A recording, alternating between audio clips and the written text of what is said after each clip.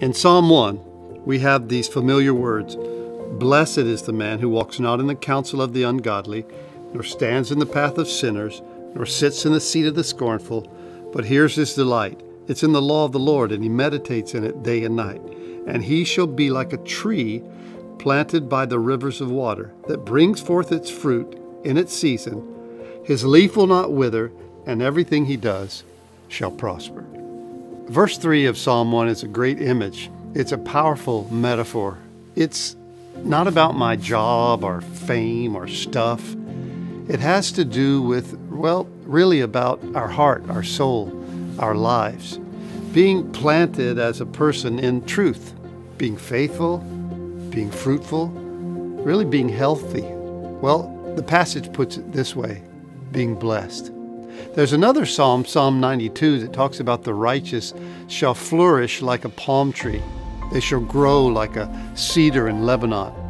Those who are planted in the house of the Lord, it says, shall flourish in the courts of our God. They'll continue to bear fruit. That's what flourish means. Once again, the passage speaks to our, our spiritual life, the heart, being planted in the house of the Lord. What, what a great image. What a great picture. How does it happen? How do we become the righteous and flourish and be blessed and produce fruit? Well, by knowing and following and trusting in the one who makes us righteous. Because we can't make ourselves righteous.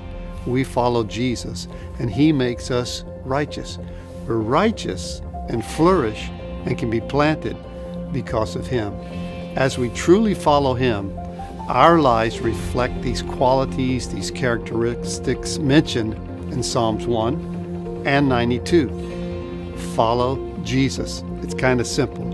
Get to know him, and you will flourish. You'll be planted. You'll bear fruit. That's what the scripture says. We follow him. He makes us righteous, and we flourish.